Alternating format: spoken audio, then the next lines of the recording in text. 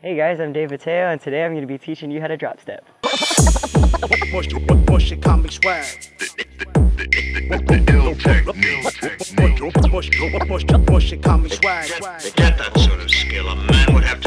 Okay guys, so step one to the drop step is footwork.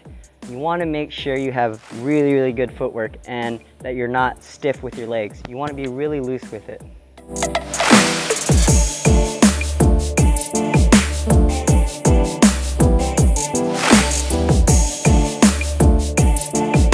So step two would be to drop your tama along with your ken underneath your leg as you step forward with your right foot. If you're left-handed, you're gonna step forward with your left foot. You're gonna be going front and back with your foot, and at the same time, you're gonna do a full circle with your ken. Push it, comic swag.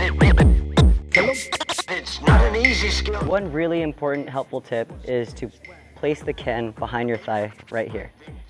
As the tama is coming up to this point, once it gets here, you're gonna go ahead and drop your leg back and it's gonna, the inertia from the tama is gonna bring it perfectly behind your left leg.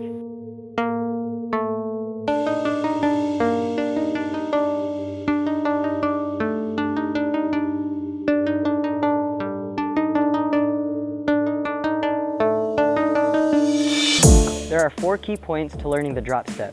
Kick out, ken under thigh, kick back, and then the tama will follow.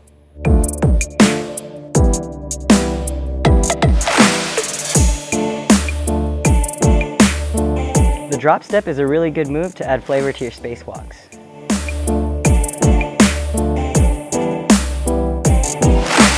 Big bass big car, bass. Thank you all for watching. I'm Dave Mateo. Style out those drop steps, and I will see you in more videos at kendamausa.com.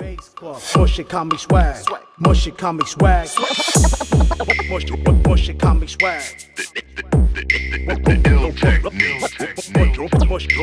push comic swag. To get that sort of skill, a man would have to train for years.